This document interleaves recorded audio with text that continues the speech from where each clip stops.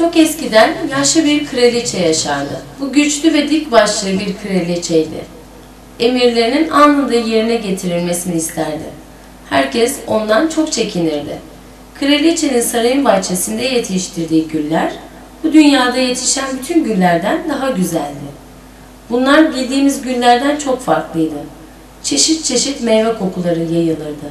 Duvarlar, pencereler, koridorlar, sarayın her yanı güllerle kaplıydı.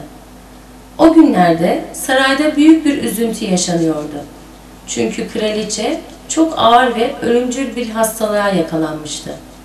Doktorlar kraliçenin hayatında umudu kestiler. Bizim yapabileceğimiz bir şey kalmadı dediler. Ancak kraliçenin durumu yakından izleyen bir bilgin, kraliçenin kurtulabilmesi için bir umut var. Dünyanın en güzel gülünü bulup getirirseniz kraliçe uzun yıllar yaşar diyerek herkesi şaşırttı. Bunu duyan halk dünyanın dört bir yanın, yanına dağıldı. Yaşlılar, gençler, çocuklar buldukları gülleri saraya getirdiler. Ancak bilgin bunların hiçbiri dünyanın en güzel gülü değil dedi. Kraliçeye aşk bahçesindeki sevgiyi bilen saf ve temiz bir gül getirmelisiniz. İşte o dünyanın en güzel gülüdür. Ne yazık ki hiç kimse o gülü bulamadılar.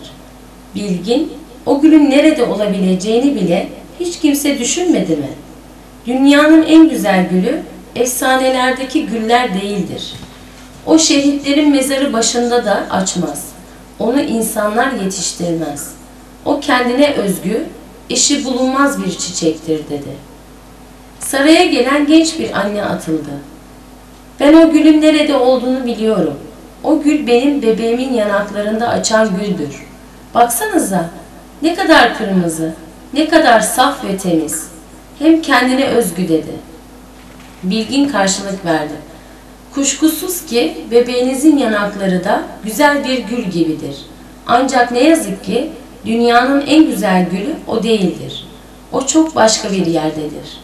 Onları dinlemekte olan ileri gelenlerden yaşlı bir adam sözü aldı. Ben o gülün nerede olduğunu buldum. O dua eden bir genç kızın yanağındaki pembeliktedir. Bilgin başını yana salladı.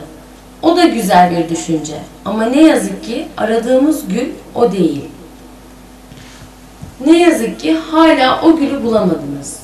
O sırada odaya kraliçenin küçük oğlu girdi. Gözlerinden yaşlar akıyordu. Elinde taşıdığı büyük bir kitabın sayfalarını açtı.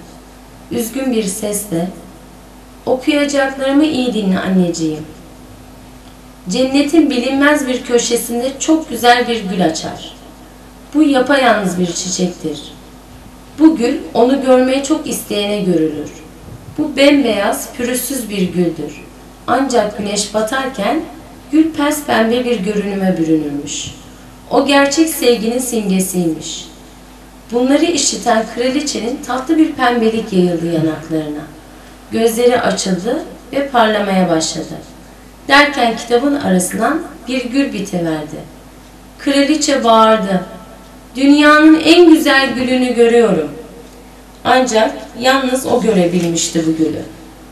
O da gülü gören herkes gibi mutlu ve ölümsüz olacaktı.